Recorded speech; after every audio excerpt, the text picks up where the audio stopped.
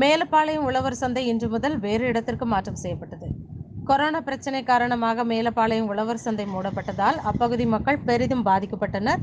தொடர்ந்து நிலை கலெக்டர் விஷ்ணு உத்தரவின் பேரில் வேளாண்மை துறை இணை இயக்குனர் கஜேந்திர பாண்டியன் கலெக்டரின் நேர்முக உதவியாளர் அசோக்குமார் மார்க்கெட்டிங் பிரிவு துணை இயக்குனர் முருகானந்தம் ஆலோசனைப்படி இந்த உழவர் சந்தை மேலப்பாளையம் முஸ்லிம் மேல்நிலைப்பள்ளி மைதானத்திற்கு இன்று மாற்றப்பட்டது.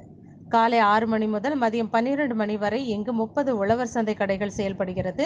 முப்பது கடை உள்ளது. இந்த நிகழ்ச்சியில் மேலப்பாளையம் மண்டல உதவி ஆணையாளர் சுகி பிரேமலதா சுகாதார ஆய்வாளர் சாகுல் ஹமீத் சந்தை நிர்வாக அலுவலர் பழனி உதவி மே உதவி வேளாண்மை அலுவலர்கள் ஜெயபாரதி செல்வகுமார் உட்பட மாநகராட்சி நிர்வாகிகள் பலர் கலந்து கொண்டனர்.